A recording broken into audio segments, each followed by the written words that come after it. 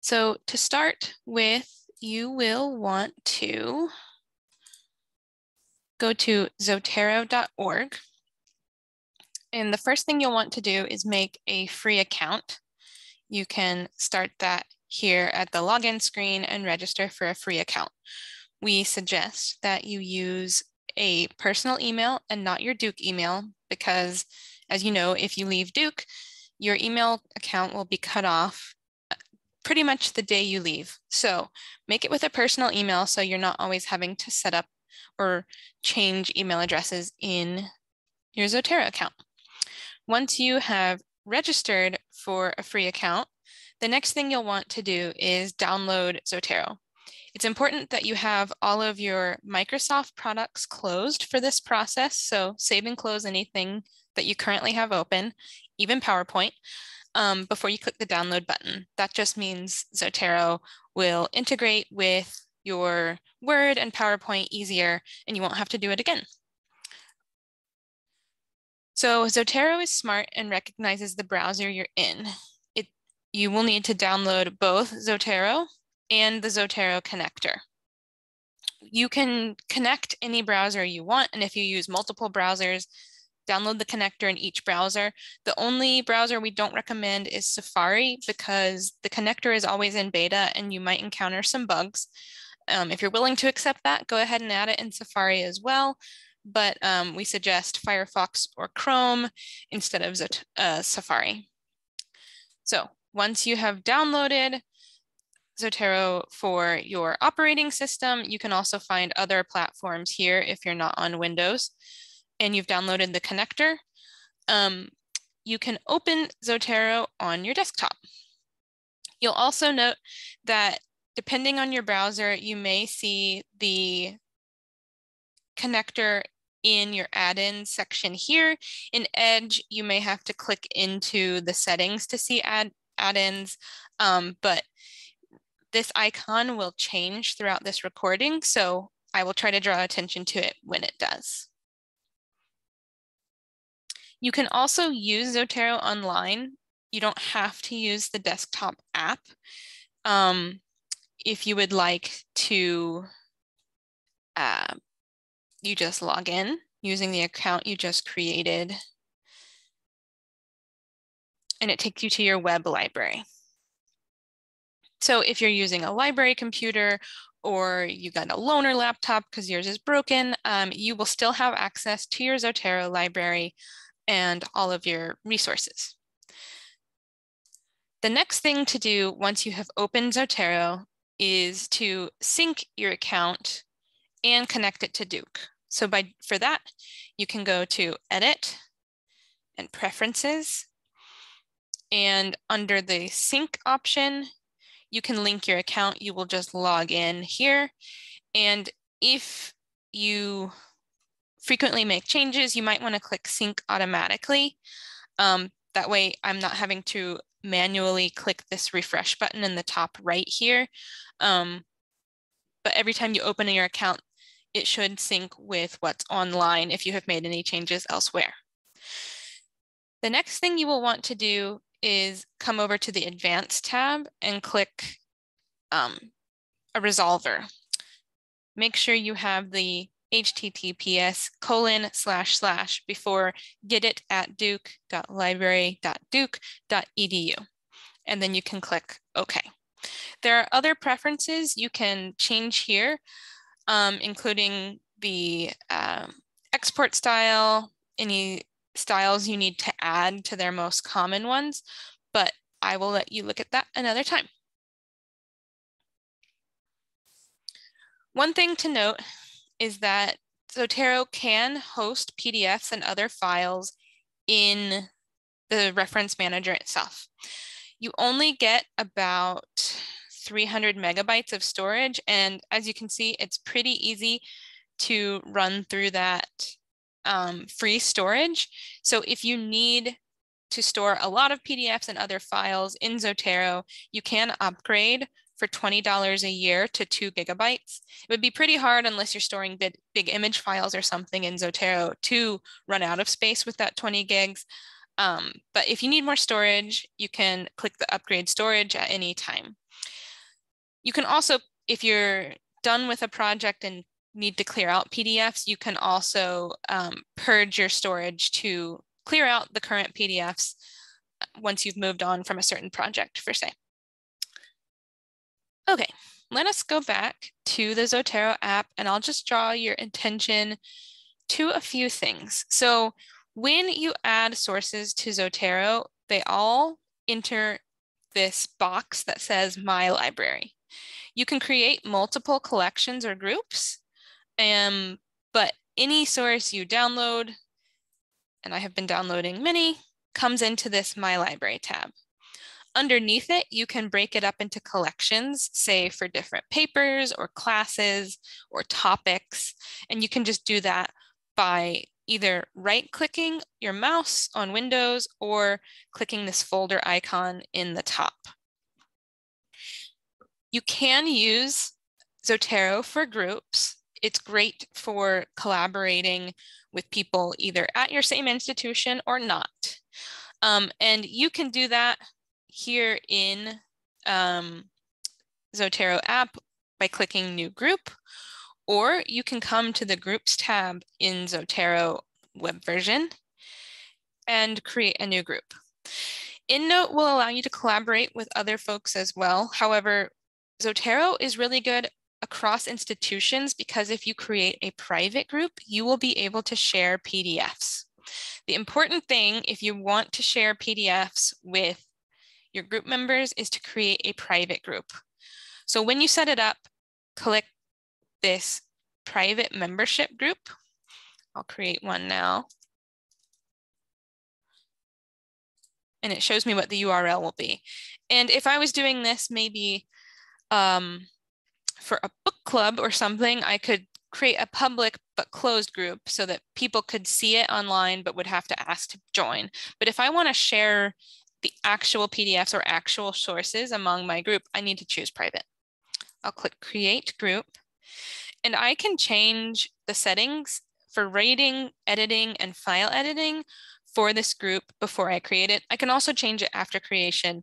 Um, but if the group is going to be quite large, or if you're the main like PI or something on a project, you may want to uh, set anybody can read the library, but only admins can change the library if you don't want people to accidentally delete items from the library. Um, you can choose no group file storage. However, uh, that would eliminate the PDF sharing properties that Zotero has. So I'm going to set this as open as possible to any group members and click Save Settings. To add people to my group, I will need to go to Members Settings and um, I do not currently have any invites, so I need to click this send more invitations. You can use either Zotero usernames or email addresses to add people to a group. And so if you have, if you know you will be using Zotero with your group, you may want to um, get their Zotero usernames so that you're sending the invite to the, their account that already has a Zotero enabled and they don't have to make a new one with their new email address. And once you have multiple people in the group, you can click update roles. And that would allow you to change owner, admin, group member. But since I'm the only member of my example group, there's not much to change. You can, again, change the library settings at any time. And you can also change the name. You can set a discipline. You can give a description. You can delete the group once you're done with it, and you can set an image if you need to. Okay, let's go back to the app and talk about other things you're currently seeing in Zotero. So one of the things you can do is change the um, columns that appear in Zotero by right clicking. Um, and you have a lot of options. So it comes with just some basic like creator, publication, attachments. I currently have date added, but um, if you needed a project that only had sources from a certain year, you may want to add year. So I will just click here and I could sort this um, on the year published. Oldest to newest, newest to oldest, that sort of thing. I can also unclick that if I no longer need that column. Uh, another thing to look for is the attachments. So you can see that there are various types of attachments in Zotero. Some of these are just a web snapshot, but there's also a small PDF icon, and we will come back to that later. Not all of my sources have an attachment. Some of them are just um, the citation. So let's go look at one.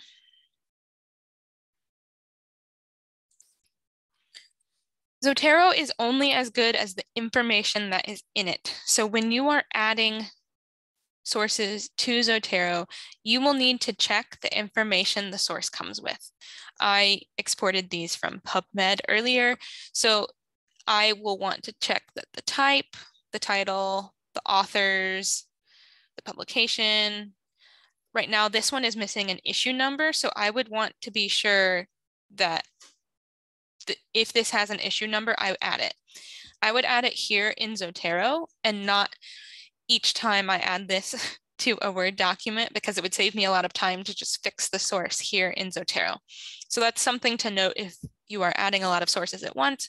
Just be sure to go through before you move away in PubMed or any other database from those sources online, make sure you have double checked this citation or that you have a DOI to go back and check it later. You'll also want to check pages and um, if your source needs date access, you would want to add the date here, of course. I will also show you what one looks like with a PDF involved. So this one does not have very much information from the source. I don't even have a URL. I would have to go search this title again. However, it does have a PDF attached. So I can open that in Zotero and double check the PDF and see if there's any information in here. I can also highlight and annotate PDFs in Zotero and it will save it for me.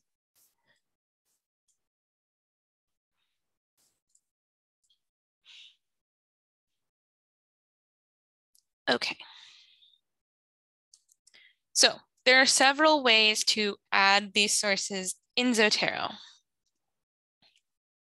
The first is to just, if you've been in different databases and you've been downloading PDFs, I can drag and drop PDFs into Zotero. I will want to drag them into my library.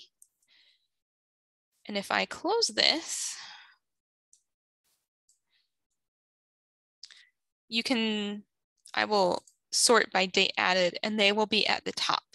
So you can see that it is looking for metadata.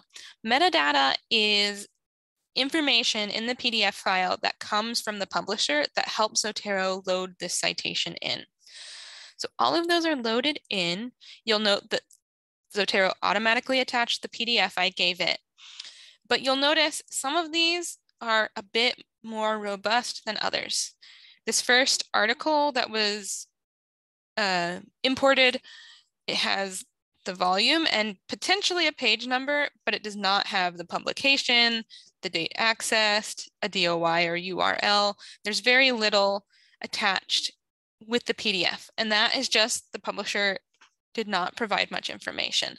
However, this one is a lot more robust. I have the DOI, I have an ISSN for the journal. I have the date, pages, volume, issue. So if you're dragging and dropping PDFs, you'll definitely need to double check each of those resources to make sure the citation is correct. Okay. Another thing you can do is export from a database itself. So let's go to PubMed pretty much every database is going to have a way to export these PDFs or citations into Zotero. And you can do it either from the database or using the Zotero connector we downloaded earlier. So I will search kittens. Okay, a few things to note here. The first is that you can see that this has turned, this icon in the top right corner, the Zotero connector, has turned into a folder. I'm gonna click this folder and it will give me the option to download these articles that appear on the page. So if I thought all of these were relevant, I could select them all, maybe not these three, click OK, and they would download into Zotero. I'll just choose a few, click OK, and they're saving to my library at the moment. You'll note that it just says PubMed entry here. We'll come back to that.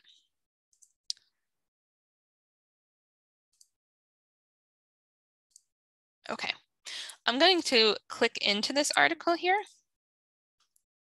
And you'll note again that the Zotero icon has changed. It's now just a single source. This time it found the open access PDF. If you want Zotero and PubMed to kind of work together on that PDF, it's best if you're in a single article instead of in the full list. You can also tag this article when you're putting it into your library. We'll come back to tags in a moment. Another way to send this to Zotero is to click the send to button in PubMed. You can click citation manager and a file will download for you to open. Um, but it's probably faster to use the Zotero connector unless for some reason you're on a library computer or not your own laptop and you don't have Zotero downloaded. Um, sometimes you can, you, eh, or it's being buggy, you may want to use the send to button. Again, you could also just download the PDF and drag and drop it into Zotero. So you have plenty of options.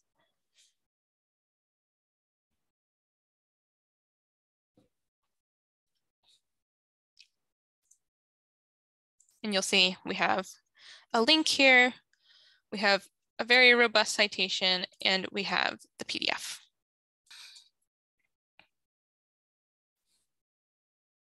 You can add articles from PubMed via another two ways into Zotero, and one of those is via PMID. Each article in PubMed has a PMID, so I am going to copy that and then go back to my Zotero library. And using this magic wand button here at the top, I will just copy that in and hit enter. It will load for a moment and you'll notice that it copied in and has the PDF full text attached with it. Another way you can do the exact same thing, but from other databases or websites easily is by using a DOI. Make sure you copy the entire DOI before going back to Zotero and again, clicking the magic wand and then pasting that in and hitting enter and now it's there. You can add sources manually as well if they don't have sorts of digital identifiers like books or works of art. You can add those here with just the regular plus button. But if you're working in an academic database or on a journal website, the magic wand will be a little bit faster.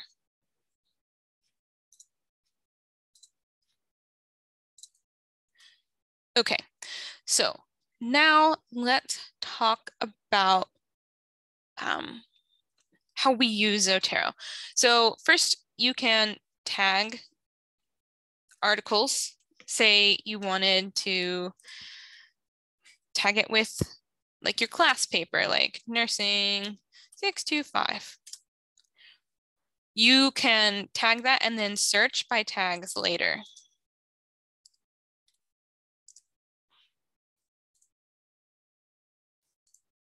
And it would pop up with the one that has this. You'll also see that um, there are tags provided by the publisher. So maybe if I search kitten, the ones that have kittens as a tag will be included. So you can use tags to organize your library besides in just collections or groups.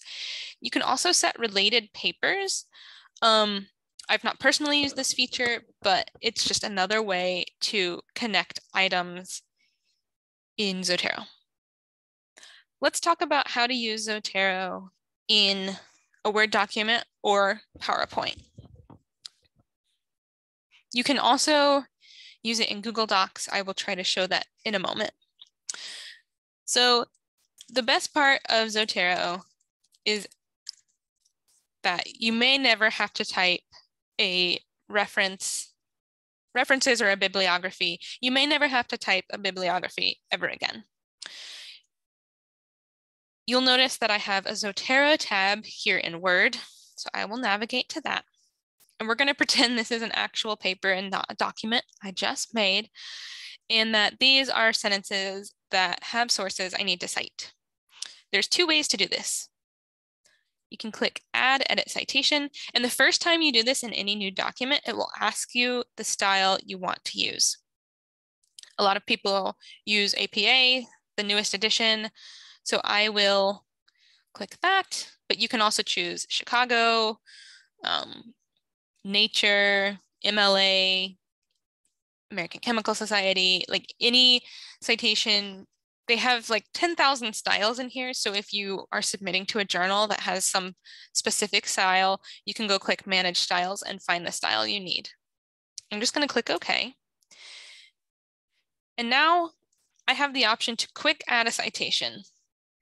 I will just put, you can type anything into this. So whether it's a name, a portion of the title, part of the journal, I will type kitten. Ah, there we go. And I'm going to click enter. That inserts the citation into the sentence. I can also um, edit this citation. So if I realize that there needed to be more than one, I can hit enter here as well.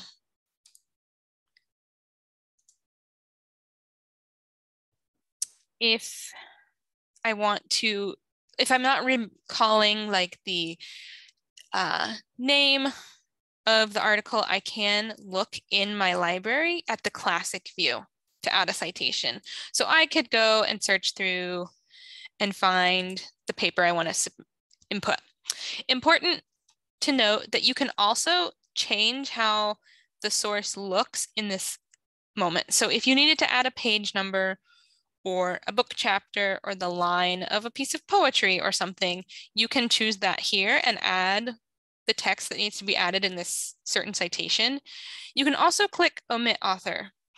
I'm not sure that's entirely relevant in APA, but in other styles, if you typed the author's name in the document, like in the sentence itself, you're not supposed to repeat it in the citation.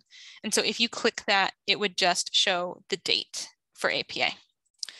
I will add two more here. I'm just going to do a quick add and click enter. So once you have written your paper and you're going along and adding citations as you go, and it's time to add the bibliography, the works cited, how, whatever style you're using, you can do that all at once. Zotero will know what you have inserted so far, and all you need to do is come up and click this Add Edit Bibliography. And boom, there is your bibliography all written out. If you have checked your sources in Zotero, you won't necessarily need to edit this. You can give it a look and just make sure no, uh, nothing's buggy has happened, that everything looks the way you're expecting. Um, but if you've done every changed everything in the app, the sources should pull over correctly. Now, say in APA, this isn't relevant because it's um, in APA, this isn't relevant because it is alphabetical, but say you're using Chicago or another style that um, uses endnotes or and does it chronologically. If you were editing the paper and you needed to change the order of the sources, you can. And if you hit refresh, then the bibliography would update. You, I can also change the style if I realized that it needed to be different.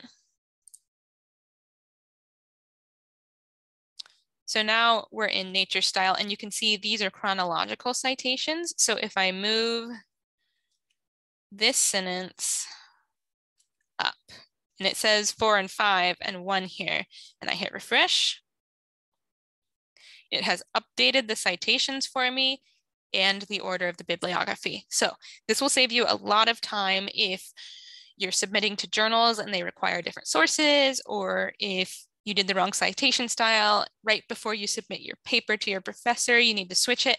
Zotero will do that for you.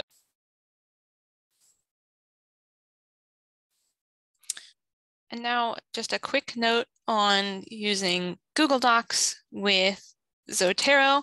I will not demonstrate it again, but I will show you it looks just a little bit different, but the functions are the exact same. So if you look at the Zotero button in Google Docs, you can, you have all the same options that you have in Word, like add or edit a citation, add or edit a bibliography, preferences, which would give you the citation styles, refreshing if you need to change the order of your sentences or your citations and unlinking the citations at the very end. I will note that um, I will note that Zotero does not work in Word Online or any of the online Office 365 products, but you can use it with OpenOffice or LibreOffice. The last item you need to do before you submit your paper either to a professor or to a journal is to do a very important but permanent step to your paper, and that is to unlink the citations. So you'll see if I click into this bibliography, I get all this gray highlighting and any one who isn't a part of your Zotero library, which is going to be most people reading your paper, uh, we'll also see this formatting if you somehow submit the paper without unlinking citations. However, just know when you click this button, there is no going back. So if you think you might have to make further edits or additions to this paper later, you will want to save a version that's still connected to your library where you have not clicked this button. Maybe you put live at the end of the file name or something. And then once you have saved that, save a dead version for submission and all you have to do is click unlink citations. You'll get a error message that says there's no going back. You won't be able to use Zotero to make any further changes to this document. Are you sure? And you can click OK.